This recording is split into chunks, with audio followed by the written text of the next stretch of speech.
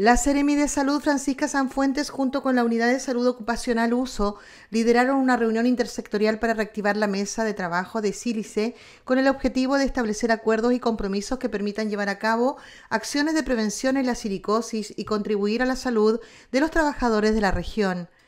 La silicosis es una enfermedad pulmonar progresiva que se adquiere al inhalar partículas de polvo de sílice, lo que provoca la formación de cicatrices en los pulmones, fibrosis y dificultades respiratorias permanentes. Esta enfermedad está reconocida como uno de los principales problemas de salud ocupacional en todo el mundo.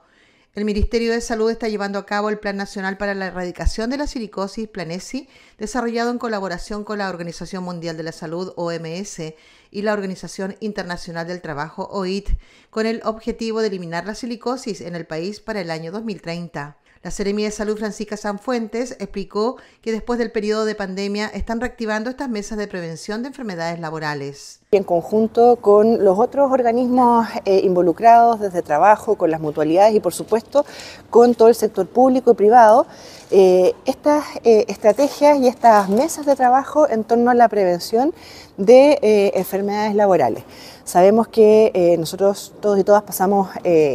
gran parte de, nuestras horas diarias en nuestros espacios laborales y es así como eh, las políticas de salud y seguridad en el trabajo son eh, un foco muy importante eh, en nuestras intervenciones en el trabajo que nosotros realizamos. Em, y es por eso que estamos muy contentos de poder haber reactivado en conjunto con el equipo de salud ocupacional de nuestra serie de salud estos espacios de trabajo que son intersectoriales y que van destinados a prevenir estos riesgos laborales, estas enfermedades laborales eh, y en general a eh, generar mejores condiciones desde el punto de vista de la salud para los trabajadores y trabajadoras de nuestra región. Los ministerios del Trabajo y Salud consideran que este plan es un paso significativo para cuidar la salud y la seguridad en el trabajo, con el objetivo principal de erradicar esta enfermedad laboral en el país. Esta enfermedad no solo afecta la salud y calidad de vida de quienes la padecen, sino también a sus familias, situación económica y la productividad del país. Victoria Pulgar, en su rol de encargada de la Unidad de Salud Ocupacional USO, explicó que la mesa de trabajo de Sílice busca establecer criterios y acuerdos regionales para implementar medidas de prevención en los lugares de trabajo y mejorar la salud y seguridad de los trabajadores. Bueno, la silicosis es una enfermedad profesional causada por la exposición a partículas de sílice. Esta mesa que hoy en día estamos realizando lo que busca es poder establecer criterios y acuerdos regionales para poder establecer medidas de prevención en los lugares de trabajo y contribuir a la salud y la seguridad de los trabajadores de nuestra región. Todos los trabajadores que estén expuestos a partículas de sílice,